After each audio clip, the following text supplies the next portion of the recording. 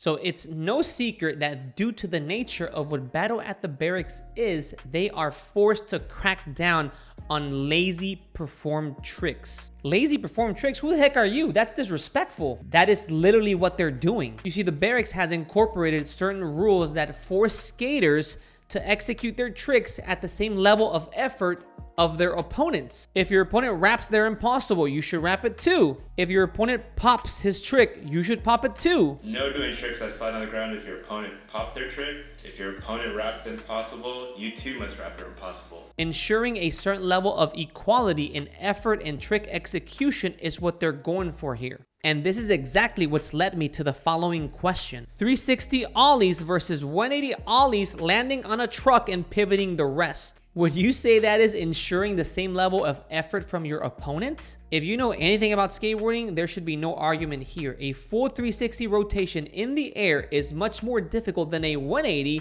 and pivoting the rest. Then why hasn't the Berrics included this in their official rules?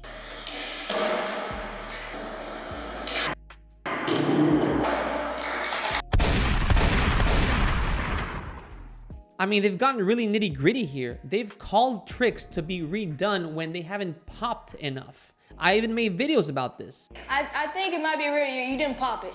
Oh, sorry. Huh? Wait, they didn't pop it?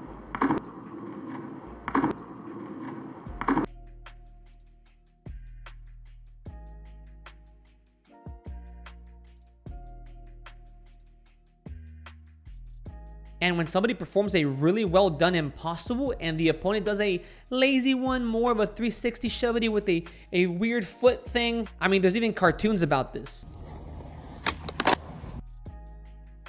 Shout out Reese G. So why, why, why do we ignore the obvious? And I'm no saint. I'm guilty of this behavior as well. I can do 360 ollies in the air on a hip or a ramp.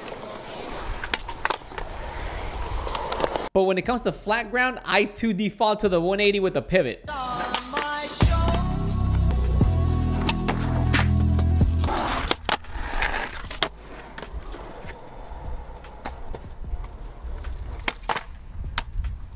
But I'm also not a pro skater, nor am I in the Berrics. But pro skaters are in the Berrics. So we need to hold them accountable to this fairness, equality perspective that the Berrics seems to be obsessed with, but tends to have difficulty ensuring. Guys, I don't know, maybe I'm being super overcritical, maybe I'm crazy, maybe the Berrics sucks as a whole, and this isn't even a question. Why are you even watching it, Skate Informant? I don't know.